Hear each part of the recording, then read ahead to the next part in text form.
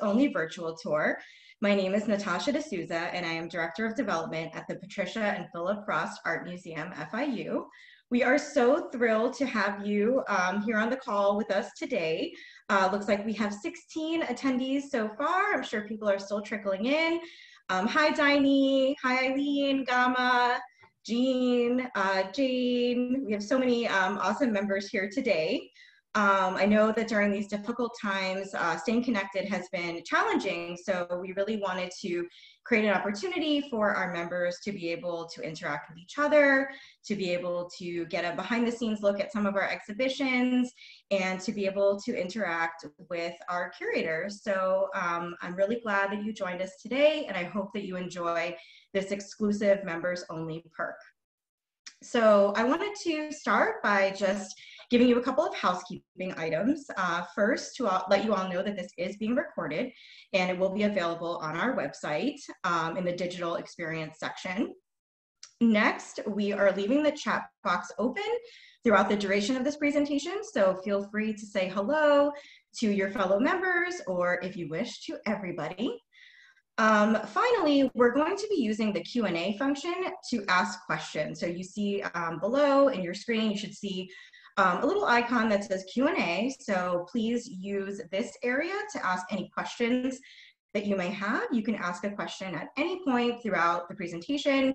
Uh, we'll be pausing to answer questions and uh, we hope to get to everybody. So uh, ask your questions there. And now that we've got our housekeeping out of the way, I'll turn the program to us, Chief Curator, Dr. Amy Galpin. Thank you, Natasha. And thank you to all of you for joining us this afternoon for a tour of Liu Shiwen Opaque Pollination. I want to extend my gratitude to all of you as supporters and members of the Frost. Your membership means so much to us. I want to tell you a little bit about this exhibition uh, from a sort of behind the scenes uh, point of view, you know, starting with how did it ever come to be? Uh, this is an exhibition that I felt really passionate about bringing to our museum. Uh, the work of Liu Shiwen is really engaging from a global vantage point. The artist was born in Beijing, China in 1985. Uh, she studied in New York at the School of the Visual Arts, and she currently lives in Copenhagen in Denmark. And she brings a really global, transcultural point of view to her work. It's not as though she doesn't recognize cultural difference. She feels it every day. Um, but she kind of explores ways in which we all can connect. And sometimes that's through the use or consuming, rather, of images or the way we use the internet, uh, what images mean to us, the types of questions that we might ask. I always love firsts. I like to bring our audience mem members firsts. And this exhibition is Liu Shiwen's first solo exhibition at a museum in New York, or in the US. And she has exhibited um, at her gallery in New York. She, her work is a part of the permanent collection of the Guggenheim uh, Museum in New York as well. Without any further ado, I'm gonna go ahead and share my screen and we'll get going on our virtual tour. I look forward to hearing from you throughout uh, the tour today, you know, with your questions. And also we have three polls for you to participate. Uh, so I'm going to ask my colleague to begin uh, with the first poll question as I start to share my screen.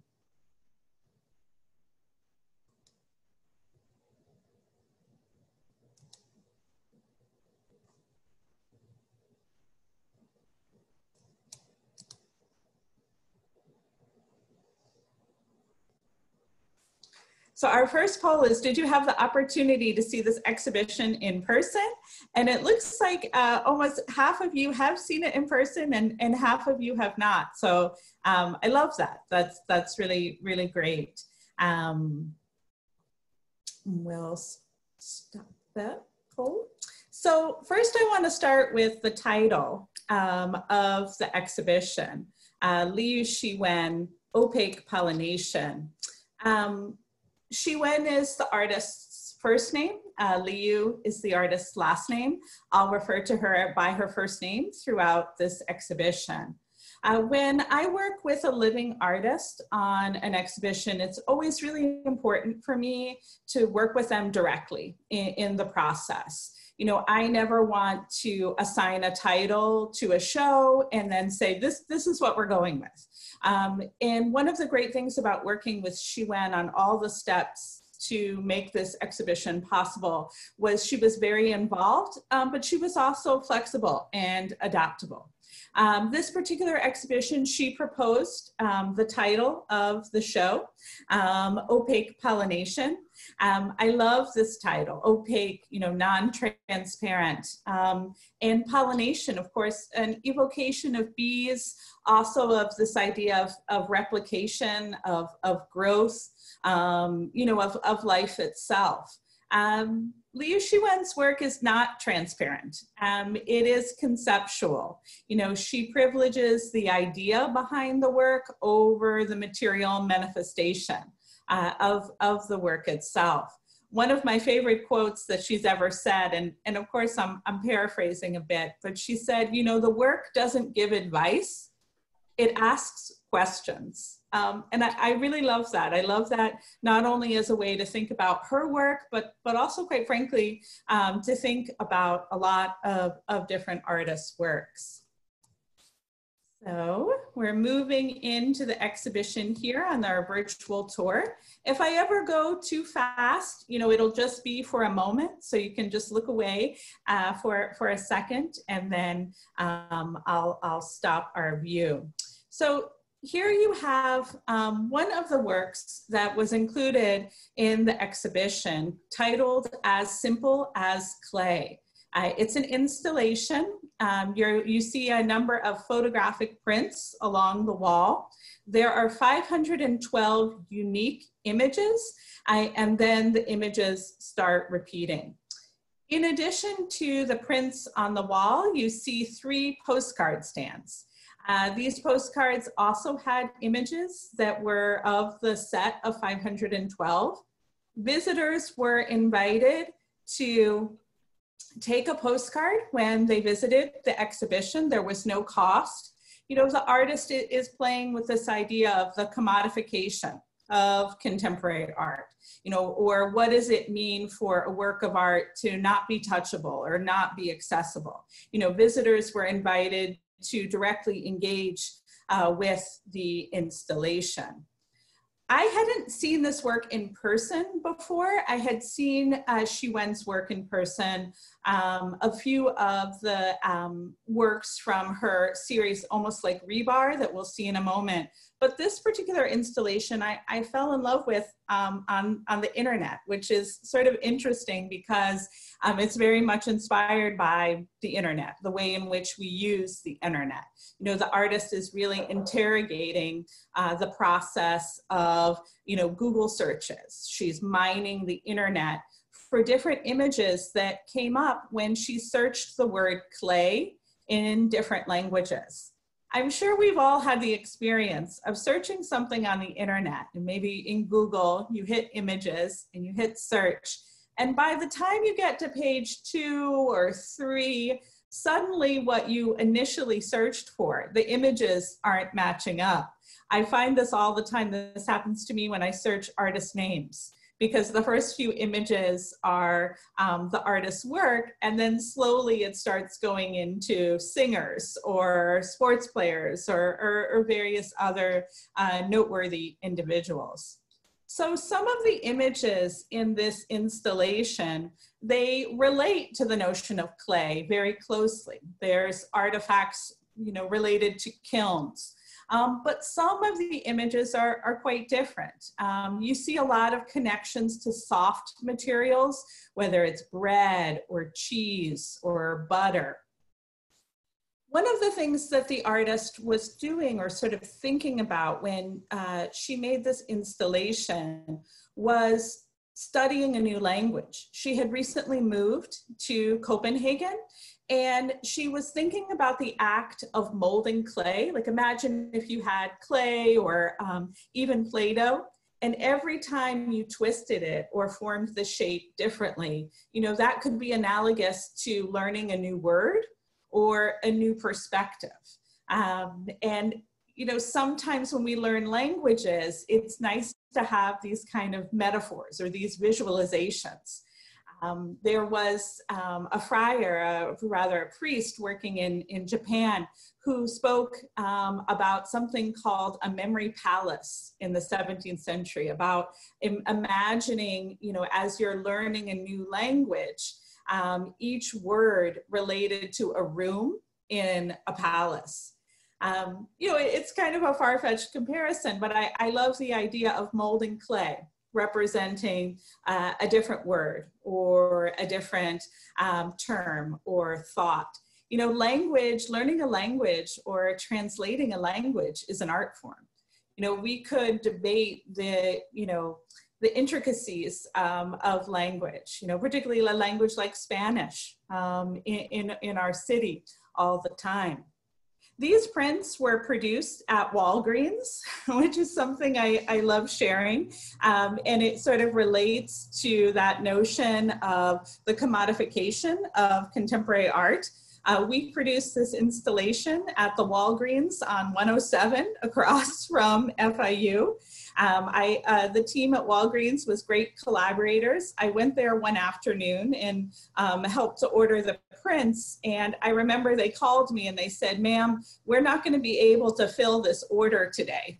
Um, and, and I loved that because, um, you know, they were, they were trying to help me so much. And, and of course, you know, I, I knew that it would be impossible to reproduce all of these images in one day. But that's also some of the reason why you can see this sort of gradation of different blues in the work. Um, you know, the artist leaves something up to chance here you know, where uh, the work is printed, not necessarily like a fine art photography printer, where the blues are going to be all uh, even. I'm going to sort of spin around a little bit and give you an overall view of the galleries. Something that you can see from this vantage point, you know, where we're standing there, we're sort of immersed in this dark wall, dark gray walls. And then across the galleries, you see a lighter gray. Uh, the artist completely consulted with us on the design and uh, everything down to the paint colors for the exhibition.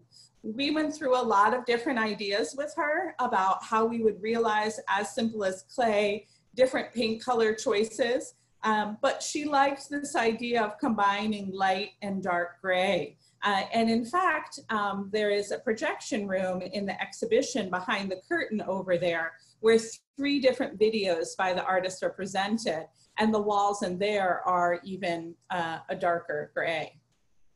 So I'm gonna ask uh, my colleague, uh, Jocelyn, to put up the second poll for you while I move into our other gallery. Uh, this is my favorite poll that we're going to ask you because it's a poll um, about art and I'd love to know what kinds of art you like looking at.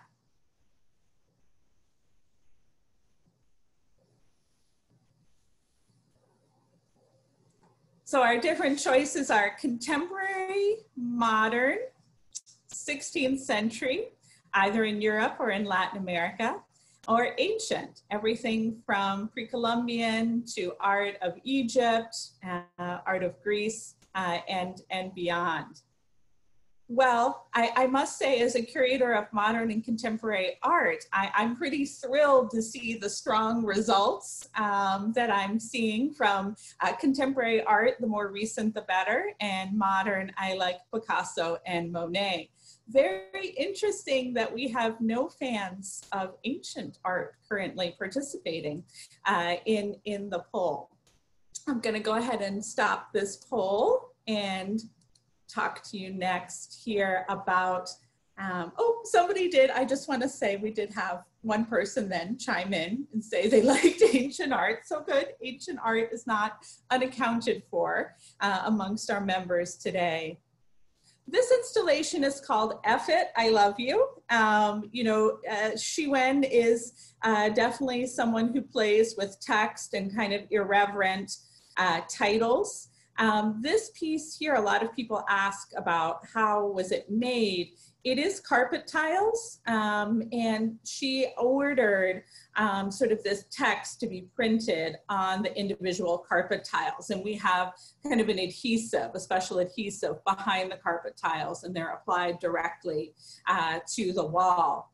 Something that's really special about this installation is that the artist was present um, throughout the process. Uh, she decided which of the carpet tiles would be included in our installation. Um, she chose the placement, etc. Um, you know, having that engagement, it makes, I think, an exhibition uh, so special. Uh, and the artist was able to travel uh, from Copenhagen to join us one of the things um, that the artist is playing with a bit here is kind of creating a, a space, which she was thinking of the space as cozy. Uh, when you look at the furniture that is in front of F It, I Love You, you might not think of it entirely as, as cozy, um, but you know, it creates a, a certain sensibility. Getting back to this notion of commodification in art, it was really important to Shiwen um, that our team participate somehow in the installation. So the furniture actually comes from different staff members, um, either from their home or from their offices. Uh, uh, for example, this black stool here that you see uh, comes from the home of our manager of strategic initiatives. Um, the floor lamp actually comes from Natasha's uh, uh, office, rather, um, at, at the museum. You know, the artist was really interested in, in playing with the furniture and kind of creating a unique uh, sensibility. The texts that you see in the installation, um, it was a collaboration between the artist and her assistant at the time, uh, who was also from China. Um, they were thinking about the structure of Chinese poetry. Uh, they were also in, in part kind of creating a script and thinking about constructed worlds. You know, social media is a constructed world, right? The idea when what we post on Facebook is often maybe the third image that we took, not the first image that we took. Um, and so that idea of creating sort of facades or creating um, these imaginary spaces was also very much behind this work. Some of the phrases are a little um, irreverent, wonderful and velvety, purring and twisting on its back. It begs for dinner, but receives only looks of disdain. One of the things that Shiwen talked about in the creation of her work is that she loves how different audiences respond to the work. And she said she's always been drawn to the fact that US audiences, audience, audiences in the United States, will laugh at the work. Um, that they sometimes can find a sort of sense of humor uh, in, in her phrasing and not become as obsessed with, oh, I have to know exactly uh, what, what this means. Just going to move back out here. I am going to do a little bit of a spin. So um, if, if visually it, it, it bothers you, you might want to just look away for a moment. As we come back around here, I want to look at the series um, almost like rebar. Uh, it's a series of photographic collages when the artist was, uh, from a young age, she was interested in being an artist. And when the artist was studying in university, she focused on painting. And it's interesting because there's really only one work in the show that we could classify as a painting. Um, but she talks about with this photographic collage series, almost like rebar, approaching it from a painterly uh, point of view. Uh, oftentimes what Shiwen is using in the work is stock photography. So sometimes she combines her own photographic images and mixes them with stock photography. Other times the works are composed solely of stock photography. Uh, for her, you know, that question, uh, she likes that idea, right, of mixing um, authorship. Uh, and also, one of the things I think is really interesting to explore, sometimes stock photography gets a bad rap, you know, in terms of people who operate in the quote unquote art world. They think of stock photography as commercial. But Shiwen talks about the incredible technical skill, often the narrative that underlies uh, stock photography, uh, and, and being drawn to it very deeply. She confesses to spending hours on the internet kind of losing herself um, in, in images of stock photography. Here, what you see on your screen is an image of a woman in a white dress. She appears to be kind of twirling around in a field. Um, and, you know, that's sort of a trope, right? It's like a trope of a romantic movie or like a rom com, you know, this woman sort of in a white dress twirling around in, in open nature when we think about different things that we search on the internet, you know, there's a lot of images of animals, there's a lot of images of food, there's a lot of images of nature. A lot of times when we first get a laptop computer or a desktop computer, the images that are programmed as our desktop um, are of nature, of lakes, of mountains. You know, when we look at Shiwen's work, we can ask the question, you know, how is it different to experience nature on a screen versus experiencing it in, in person. A particular thing I think is interesting about this work, it's one of the reasons why I have this real close-up image here, is you see the artist's hand-drawn lines um, on the frame. So that's a very interesting juxtaposition, you know, using stock imagery, but then also combining it with this delicately hand-decorated frame. Other things that I think about when I look at this woman in the dress are stop motion uh, videos, time lapse videos. I think about the history of photography and early photographs um, of sequences of people moving uh, or animals moving. I think about how is an image constructed? What do we crop out of an image? Uh, and even though, you know, for some, this might be kind of a beautiful connection, sort of that they see a very strong synthesis between the images of the tree and the images of the woman here in the field. Others might find it more jarring. But if you find it jarring, I think that also replicates the experience that we have on the internet every day.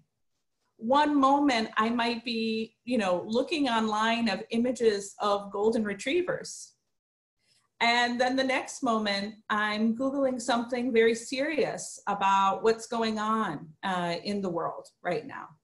And so we're constantly moving back and forth between different types of images, different types of information. It's said that we all see more than a thousand images uh, every, every day. I know I'm, I'm chatting quite a bit, so, and I'm hoping that we're having some, some good questions coming, coming through. Um, I want to encourage you to use the, the Q&A box. I think my colleague Natasha is also going to be checking the, the Q&A box out. Um, this is to me a very special image in the Almost Like Rebar series. Um, I'm going to come up close to it and then I'll, I'll go back away. It's also a, a work in the series where the artist is using uh, hand-drawn frames it's also a work where we see a lot of those connections of, you know, stop motion, um, you know, that replication um, of images that we see, for example, in a time lapse video. One of the things that's really special about this work is the connection to motherhood. Um, so you see an infant and mother, you know, the infant is breastfeeding you also see in this work connections, maternal connections between uh, various animals. And I think that, you know, motherhood is actually a, a thread that runs throughout this exhibition. It is something that's not as, you know, present. You know, you kind of have to sort of look for it. Um, but, you know, the artist doesn't shy away from the fact that she is a mother um, and that her being a mother uh, influences uh, the work. Uh, for example, in the video projection room, uh, you see um, a reference to a childbirth. You see reference to an infant. Um, and here, um, and another part of the show, you see the image um, of, of breastfeeding. There's actually an artist talk on the internet with Liu Shiwen, and she's introduced by one of her mentors, uh, the photographer Penelope Umbrico. And Penelope talks about how the fact that very early on, you know, in her graduate school process, Shiwen was not shy about the fact that she was interested in, in being a mother and how that was unusual at the time to have a student in the, in the graduate school that would bring that. And I, I think it's very interesting how everything that Shiwen is, is very present in, in the work you know, you could come into this exhibition and sort of focus on perhaps the sort of theoretical underpinnings. Um, but we see the artist as well. It might not be as literal as we often look uh, for those types of readings, um, but, but they are present there too. You know, the artist grew up in China during a, a period of tremendous change, of technological advances, of pop culture um, assimilation, assimilation um, globalization, um, and so that is really formative um, in, in her identity as, as an artist. You know, she's really interested in sort of formally, you know, the notion of positive and negative space. And that's something that we see in these collages, but in a very unique way. Um, you know, she almost creates the negative space by using uh, these irregularly shaped frames. This work is sort of interesting too because um, you can see, uh, it's a, I'm trying to zoom in a little bit, but you can see these two little angels, these porcelain angels at the bottom. You know, again, that using of stock imagery, the using of things that some people might be dismissive of or see as cheesy, um, but instead the way the artist kind of elevates it um, in, in her work. And, you know, that's the same thing we see in the furniture, you know, coming back to this installation here, you know, this little light that our curatorial assistant brought from her home, this little table that our um, chief curator of education brought from her home. Um, you know, these are pieces of furniture that were maybe on their way out of the house. um, but here they have new meaning um, in this installation by Shiwen, Liu Shiwen. Perhaps I'll just wrap up with showing you this last piece here. Um, this piece is called uh, Music Forbidden. Uh, one of the things I think is also really special about Shiwen's work is she talks about how, you know, it always changes. Uh, for her, you know, every time the work is exhibited, there are different choices um, that, that are made. You know, even just the choice to present this work here on the light gray wall, um, you know, in conversation with this particular installation uh, is, is different than past choices. You know, Shiwen thinks about the idea of production, you know, where are materials made? Um, you know, using both items that she makes and then items that are found. This piece here, this I would say is the one painting in the exhibition, and she's actually used this material. It's like a leopard um, type cost. It could be used for a costume, for example. Uh, and she stretched it um, just like an artist might stretch a canvas around the stretcher bars. You know, here we have this, this print, this animal print. Um, and then she's painted over the animal print. Um, and so in areas of this gray paint, you actually see the texture um, of the animal print. Uh, in other areas, she doesn't paint and you just see the animal print itself. Um, the artist has used literal clay. Um, so before we were talking about an installation called As Simple as Clay, she's actually used clay fragments in this work. And also these white things that look like letters or documents. Um, they are documents that the artist is actually presenting in clay. Um, and the documents reference um, space exploration and they reference um, condolences that a leader might offer if an astronaut um, died unexpectedly, unexpectedly while in space. and so the artist is thinking about, you know, again, this notion of technological advance, um, the human toll of technological advance, um, you know, the emotional pathos of, of technological exploration um, through, through space. Uh, one of the reasons why I, I, wanted to end with this piece, Music Forbidden, you know, it includes painting and textile and clay. You know, the artist may have trained as a painter at university, but she works in a lot of different media. When I visited her studio in Copenhagen, she was actually working on a series of drawings for a fourth show at her gallery uh, in, in New York. So that gives you a little bit of a sense um, of the exhibition. I'm gonna turn around here so you get a little bit of um, an overall view. Uh, do we have any questions? We do have a question, Amy. So the question is, do you know how Liu is doing now during the pandemic? Is she residing in Copenhagen or Beijing? Thanks for the question. Yes, that is a great question. Um, she is doing really well. Um, she is currently in Copenhagen uh, with her family. Um, and um, she has, you know, been quarantined for, for much of this time. Uh, things are beginning to open up um, in, in Copenhagen. So of course, as, as we watch the news, we see, you know, different countries um, sort of going through different stages uh, of the pandemic. I know that the artist was scheduled to have a solo uh, exhibition in June at her gallery in New York. Uh, so I'm not sure if that will be able to happen, um, but I hope that um, if not this summer, that we will see it um, very soon. We don't have any other questions at this time, but this could be a good moment. Oh, just kidding. We have one, one coming in just now from Jean Rosenberg.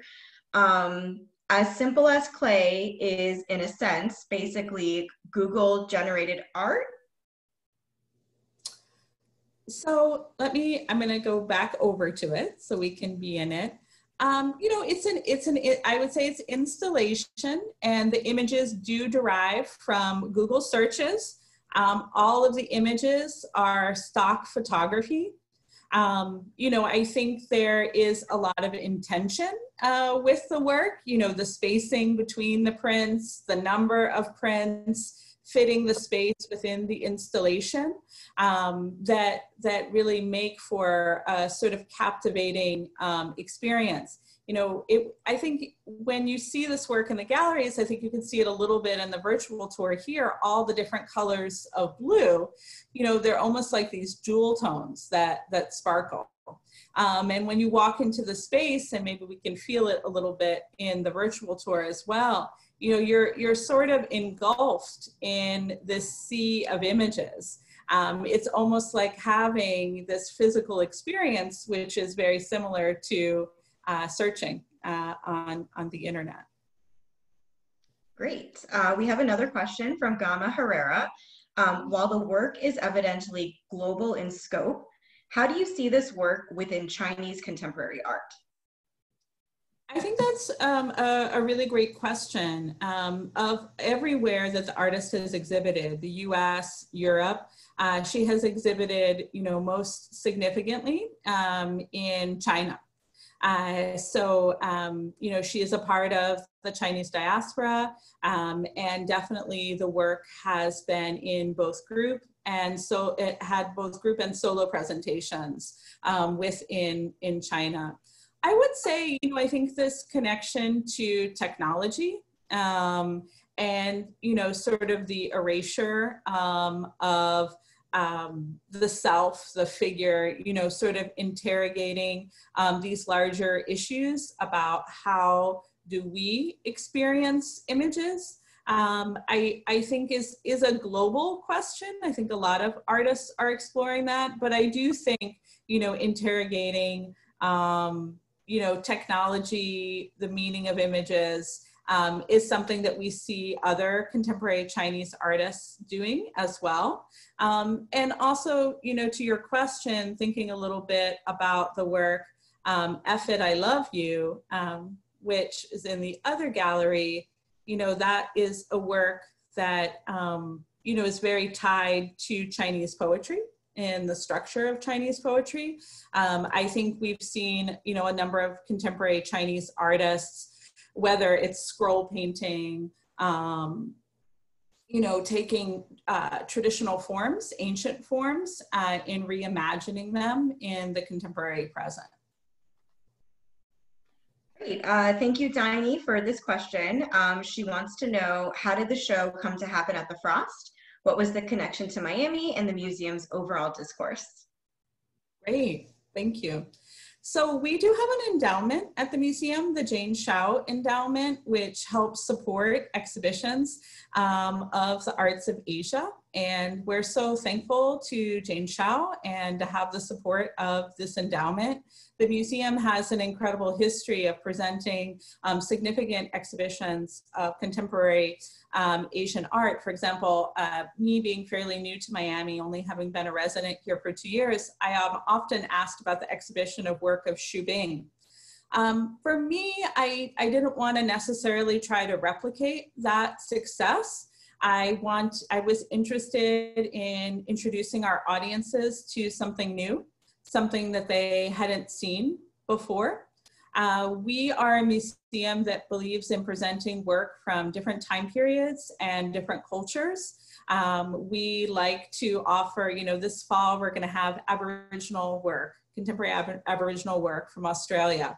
Um, in the last two years, we've had contemporary uh, Indigenous artists from India on, on view you know, we really try to navigate lots uh, of different realities for um, our audiences, and we don't try to just present, you know, work by Miami-based artists, uh, for example. Although we are, I think, as you know, um, you know, very dedicated to our Miami artists. And every year we're doing exhibitions that represent work by Miami-based artists. I think for me, the idea is both celebrating local and also offering something different.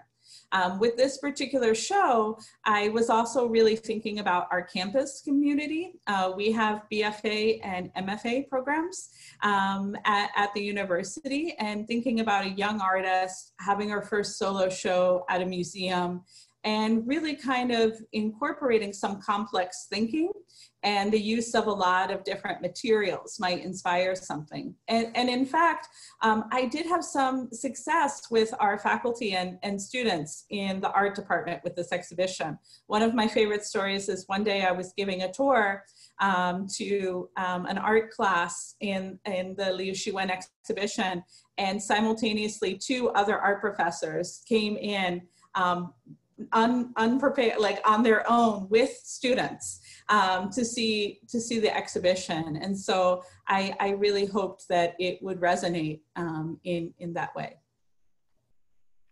Great. So Diney also has a follow up question. Um, she was curious about the title "Most Like Rebar" and what it could be referencing. Yeah, I think you know almost like rebar. So rebar, this idea of you know something that that binds something together, you know, something that adds support, um, you know, something like, for example, like support to concrete. Um, and when we think about uh, her photographic collages, right, there are all these different images um, that are put together, like the in this sort of supported structure. Um, so it's not it's not rebar, but this idea that you know she's creating an overall composition um, derived from diverse uh, sources. It looks like our last question here um, is this the first time the museum has used Matterport 360 degree camera technology for an online exhibit? Thank you for that question. It gives me an opportunity to credit Zachary Balber. Uh, Zachary Balber is an artist in our community in Miami. I worked with him on my first exhibition at the Frost, Deconstruction, which was an exhibition of Miami-based artists. And he introduced me to this technology and he made a virtual tour uh, of that exhibition deconstruction. And we now have seven virtual tours, all made uh, by Zachary Balber. Wonderful. So I think that wraps up our program for today. Um, thank you, Amy, for this amazing tour. And again, thank you all so much for joining us. Um, and for the for the really nice um, Q&A and all the stuff that's written in the chat box. We really um, appreciate your kind words and hope that you continue to remain engaged with us. Um, also, I just want to thank you again for being members of the Frost Art Museum. We wouldn't be able to do any of the things that we do either virtually or um, in person without your support, and it means so much to us. So thanks so much for that. Um, I also um, encourage you to tune in for some of our upcoming programs. We are launching a series called Curator Chats, which will take place on the second Wednesday of every month on Instagram Live at 5 o'clock p.m. Um, these sessions will be lively conversations between Amy Galpin and other curators from around the country. Um, participants will have the opportunity to learn about different institutions, various approaches to curatorial practice, and distinctive career paths. Uh, the first one will be taking place on Wednesday, May 13th at 5 o'clock p.m., again on Instagram Live. Amy will be in conversation with Alexander Jarman, Assistant Curator of Exhibitions and Academic Outreach at the Wellin at Hamilton College in New York. And finally, I will be sending an email tomorrow with a link to a survey that I'm really hoping that you'll take some time to complete. I promise it's very short. It's only five questions. Um, we want to hear from you, our members, not only on how you enjoyed this tour, um, but also what types of virtual experiences you would like to see in the future. So this concludes our program. We're going to leave uh, the chat box open um, so you can continue to chat with one another and to enjoy some tunes. Thanks, everyone.